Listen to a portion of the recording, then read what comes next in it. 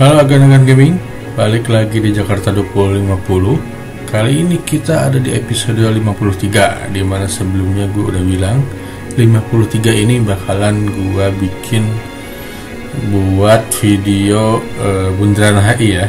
Oke sebelumnya biasa seperti biasa Follow dulu GPX Entertainment Instagramnya sama jangan lupa subscribe dan tekan tombol lonceng biar dapat notifikasi. Nah jadi sebelumnya si bundaran HI ini gue udah sempat buat di uh, episode-episode sebelumnya ya. Udah sempat buat bundaran HI nya doang gitu. Jadi rencananya episode ini gue mau full urusin bundaran HI jalan-jalan di sekitaran bundaran HI oke pertama gue mau ngurusin jalan Imam Bonjol nih. Kalau di peta aslinya kalau di jalan aslinya namanya Imam Bonjol. Jalan ini ada eh, di pojokan situ nantinya ada kedutaan Republik Federal Jerman ya. Seriusan ini kalau dilihat sekilas dari atas ini mirip logo Illuminati ya. Bukan logo Illuminati mirip mata satu kan. Itu kalau agan-agan pernah baca nih Illuminati itu kan dewanya dewa Horus. Nah ini mata dewa Horus kan? Serem ya. Kalau dilihat sekilas. Oke sekarang gua mau bikin jalan lainnya. Masih di sebelah kanan. Ntar gue pilih-pilih dulu jalannya Nah di sebelah kanan ini ada melintang ya dari selatan ke utara yaitu adalah jalan Hos Cokro Aminoto kan. Di situ nanti bakalan ada Taman Menteng. Terus ada juga museum Sasmitaloka. Terus juga banyak lagi lah ya yang lain-lainnya. Ini gue sambungin dulu dan nyambung ke jalan Imam Bonjol di sini. Sip. Nah, eh susah nih. Kita ke situ aja dulu ntar baru gesek uh, geser pakai tool sakti. Sip oke. Okay. apalagi ya? Terus hmm, masih di sebelah kanan. Ini sambungin dulu biar nyambung. Nah gua mau bikin petak-petaknya sekarang kan jadi memang di kawasan selatan agak ke utara ini di Bundaran HI itu ada jalan-jalan kecil ya kayak jalan Indramayu jalan Pekalongan jalan Maluku jalan Lombok dan Haji Agus Salim gitu. Jadi banyak sebetulnya eh, gedung eh, jalan-jalan kecil di sini. Tapi kebanyakan di sini itu perumahan perumahan mewah kan. Jalan Haji Agus Salim itu perumahan elit. Mungkin paling pertama di Jakarta kali ya. Jadi sangat banyak sekali di situ rumah-rumah elit. Di samping perkantoran-perkantoran kan. Itu di sini juga ada gereja Katolik Teresia ya di daerah situ. Ya di daerah sebelah kanan. Nah ke bawah ini jalan Pamekasan. Ya iya ya Pamekasan ya. Di situ nanti ada gedung Geraha Mandiri ada Mandarin Oriental banyak lah ya sudah sebagainya nih di pojokan situ. Terus apa lagi ya? Cuman gue belum masih belum masih punya gedung-gedungnya sih. Jadi sangat membantu sekali kalau ada agan-agan yang tahu gedung-gedungnya punya link-linknya wah mantep bisa kita percepat pembangunannya. Jadi kemarin gue sempat baca sekilas ya komen-komen belum belum gue balesin jadi ada dari thanks banget dari Muhammad Bintang ya udah ngasih satu link lagi link buat apa ya kemarin istana kepresidenan. Nah dan juga ada juga yang beberapa yang komen eh, monasnya dihias bang eh, dihiasi lagi nah gua oh iya thank you buat Muhammad Bintang ya udah udah sangat membantu. Nanti tinggal gue tinggal setup dan kita tinggal pasang gitu. Di episode berapa gue masih mikir-mikir dulu. Mungkin di episode selanjutnya. Kayaknya bareng sama jajaran sana ya. Jadi istilah ke presiden eh, ke presiden ke presidenan terus apalagi apalagi gitu. Nggak satu episode ngurusin itu episode presidenan kayaknya. Tapi bisa jadi sih satu episode itu doang bisa kita lihat nanti deh. Nah di sini juga ada nih jalan. Ya masih jalan yang tadi ya. Sebelah jalan Imam Bonjol itu ada jalan Kusuma Atmaja terus ini nih jalan Sumenep jadi nanti di sini sebetulnya pusatnya ya di Jakarta Pusat itu pusatnya di Jakarta di Bundaran HI ini ada Plaza UOB, Clear Indonesia, Tamrin City, oh banyak pokoknya ya. Jadi gue mesti nanti ngisinya itu mesti persiapan yang cukup banyak gedung-gedungnya. Sekali lagi buat agan-agan yang punya referensi gedung-gedung yang mirip. Misalnya bang gua ada gedung mirip gedung UOB nih tahu linknya. Nah, sharing gua. Ntar gua pasti pasang kalau perlu gua namain gedungnya sama nama lu oke oke oke apa samain aja ya nama-namanya ya ntar terserah aja sih gua nunggu saran-saran dari agan-agan semua menurut agan-agan eh, nama gedung, nama jalan sama daerahnya mendingan disamain sama Jakarta sekarang apa dibedain kan? Nah, itu gue masih bingung sih. Kalau misalnya ada masukan ya lebih bagus lagi lah. Jadi gue ter mempertimbangkannya lebih enak lagi, gitu ya. Oke. Nah di sebelah kiri sekarang kita maju ke sebelah kiri. Di sebelah kiri ini ada banyak gedung ya. Ya salah satunya Hotel Kempinski terus juga ada Grand Indonesia. Keren banget nih uh, Google Map ya. Gue sempet cek Google Map. Yang versi Android itu bangunannya 3D kan. Terus pas diklik itu sampai ke dalam hotel-hotelnya Diana Hotelnya kelihatan dari situ. Eh Diana bangunannya ya. Gila emang Google nih. Terus nanti di situ ada pelajar UOB banyak lah ya UOB Indonesia. Ah pokoknya di sini bakalan rame banget di bundaran HI ini. Di sebelah utaranya ada nanti hotel. Nah di sini kedutaan besar Jepang terus juga eh, ada hotel Pullman dan lain sebagainya. Tapi memang gedung-gedung itu terpusat di dekat bundaran HI-nya kalau di pinggir-pinggirnya perumahan-perumahan biasa sih. Jadi kalau di zaman sekarang maksudnya saat ini tidak terlalu penuh ya. Gedung-gedungnya itu hanya gedung-gedung tingginya itu hanya di sekitaran bundaran HI-nya saja.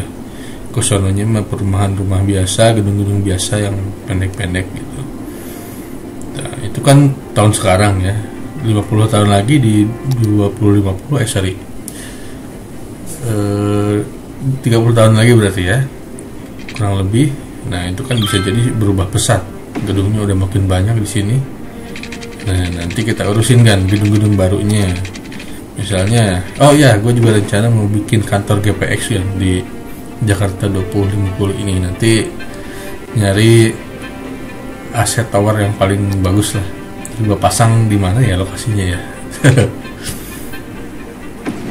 Kalau Agan juga mau bikin kantor silahkan request lah. Bang bikin kantor apa misalnya? Kantor klub bola silahkan. Kantor partai. Boleh boleh. Ya, silahkan di komen aja kan. Ntar gue pasti baca. Uh, di sini nih. Di selatan eh, pojok kanan atas ya ini di sini. Dia nanti uh, seperti gue bilang di sini bakal banyak perumahan elit ya di Jalan Agus Salim. Selain itu juga ada gereja terus juga ada stasiun Gondang, Gondang Dia nanti di pojokan situ. Sebelum ke Gambir ada Gondang Dia dulu. Nah itu di daerah sini. Nanti uh, bakalan berpotongan dengan jalan Sarinah juga. Ada perempatan Sarinah di situ. Nah di sinilah wah udah makin ini ya. Udah makin mirip. Maksudnya udah makin lengkap pertama kita udah ngampir menuhin semanggi. Terus yang belum itu jalan Sudirman aja ya. Banyak padahal di situ banyak berjejer gedung-gedung tinggi. Tenang nggak perlahan-lahan tapi pasti bakalan kita bangun. Nah ini perempatan Sarinah nih bro. Nah harus kita bikin gimana caranya biar semirip mungkin. Tapi sekarang sementara aja. Yang penting ada dulu jalannya nyambung dulu jalannya. Ntar perintilannya detail-detailnya silahkan di komen bang di Sarinah ada misalnya ada pohon jambu gitu di pojokan. Boleh. Sedetail itu pun boleh nanti kita kalau perlu bikin episode sendiri buat sim, apa persimpangan Sarina. Tenang tenang.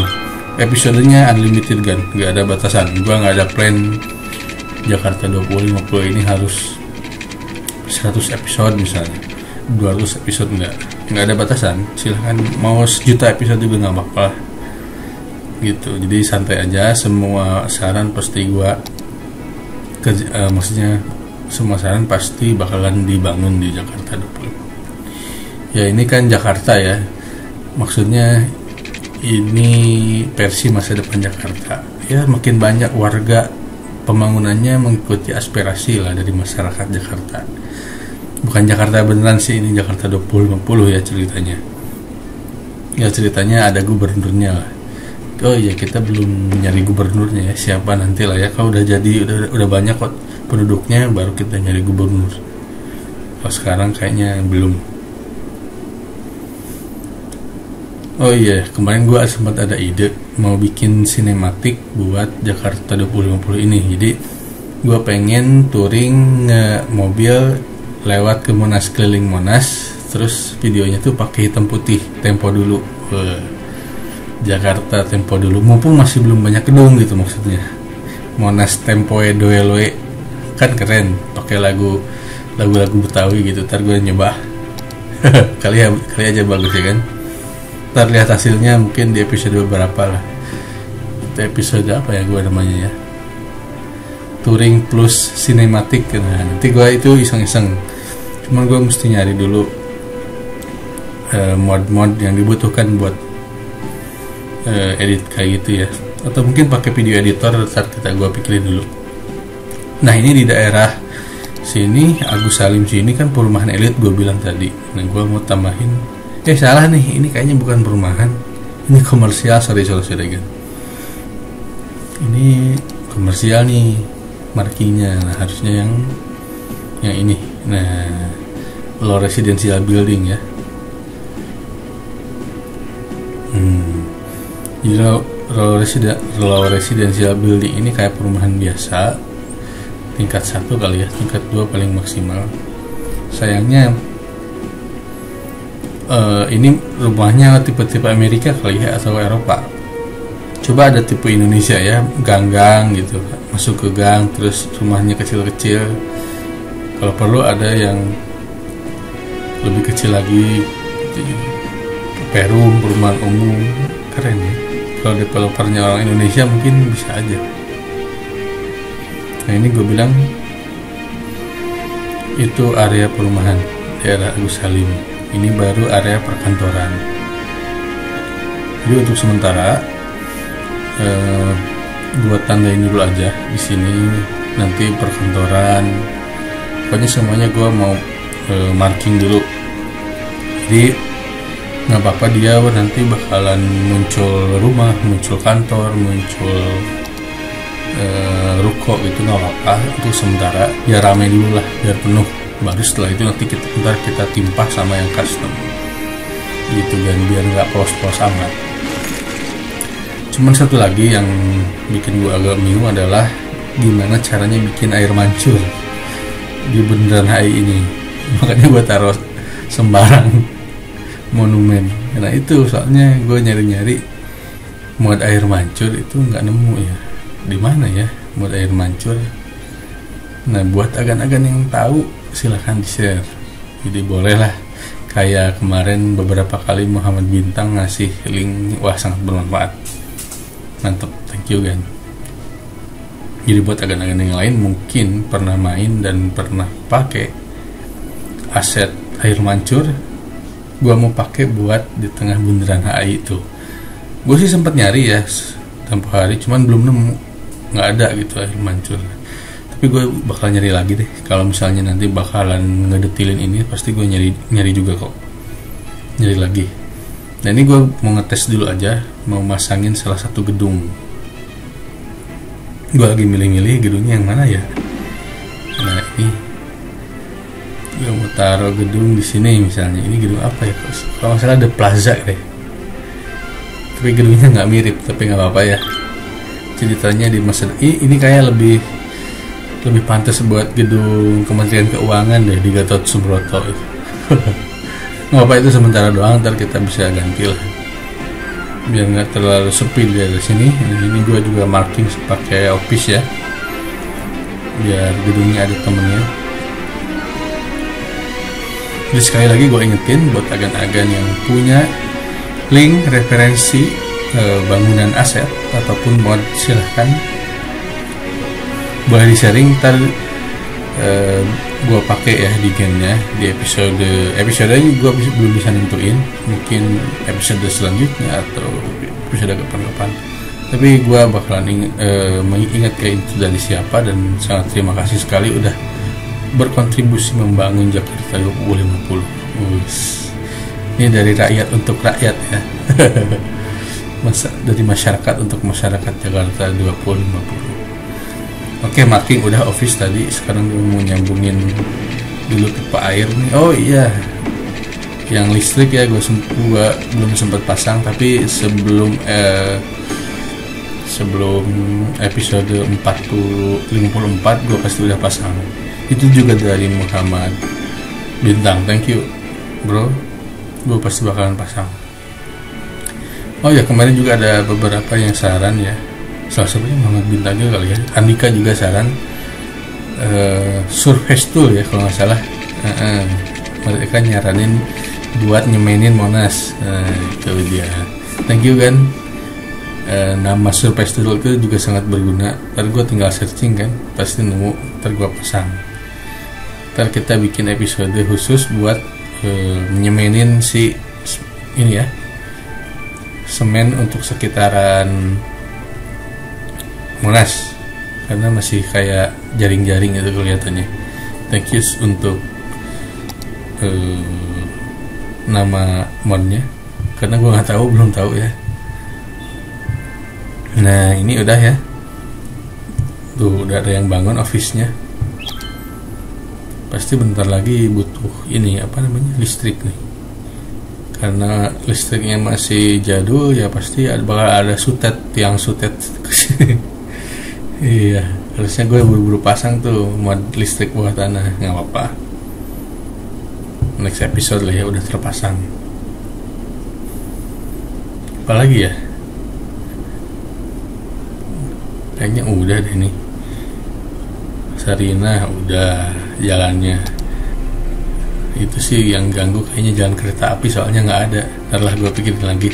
Sebetulnya jalan kereta api itu lewatnya lewat mana sih gitu nah ini kayaknya masih kosong nih ruang-ruang ini kalau dibiarin kayaknya kurang pas juga makanya gue mau isi deh jalan-jalan yang kosong ini gue mau tambah-tambahin lagi nih jalan apa tadi? Jalan Indramayu ya. Jalan Indramayu jalan Panarukan. Di sini ada Menteng Sentral gedung. Terus ada juga restoran apa sate khas Senayan nih banyak lah di sini gedung-gedung gedung-gedung kecil sih. Semua rumah-rumah elit kawasan elit masih di daerah sini ada juga gue lihat di sini rumah Imam Bonjol. Oh, berarti ini sangat bersejarah ya daerah sini. Oke lah ini jalur kereta mengganggu pandangan sekali. Setelah di mana ya aslinya sebetulnya lewat jalur keretanya? Gue mesti cari-cari lagi nih dan. Sebetulnya jalur keretanya itu persimpangannya di mana? Jangan-jangan ke bawah tanah lagi wah nanti enak kalau udah ada MRT ya nanti di bawah tanah ke situ. Dan kita bangun MRT kan MRT Jakarta. Udah ready kok ininya modnya nah kan listrik baru keingetan lagi. Ini listriknya dari air mancur ke perumahan di Agus Salim terus juga gedung-gedung ini yang baru nih bangun perlu listrik pasti kita kasih juga. Cuman ini banget ya jelek banget. Di dekat Bundaran HI ada tiang sutet gitu. Kayak di pesawahan aja. Nah ini buat tambahin aja pipa airnya karena pasti nanti merembet bangunan-bangunan itu muncul. Dan kalau nggak disiapin dari sekarang ntar malah menghambat pembangunan-pembangunannya lagi oke seperti ini. Oh iya ngomong-ngomong gue bangun-bangun aja sumber airnya gimana nih? Belum nambah. Bener nggak? Gue nambah bangunan aja dari kemarin. Air, sumber airnya pipa airnya belum ditambahin. Ntar kita pikirin lagi ya ya sumber airnya pasti ngambil dari laut cuman alatnya kan ada yang pakai alat biasa sedotannya ada yang pakai ya emang itu doang sih penyedot air cuma satu oke gitu aja kan untuk episode 53 cukup dulu untuk sementara Jangan lupa buat subscribe dan tekan tombol loncengnya biar dapat notifikasi. Yang belum subscribe silahkan di subscribe. Uh, sampai ketemu lagi di episode selanjutnya yaitu episode 54. Oke, okay, terima kasih.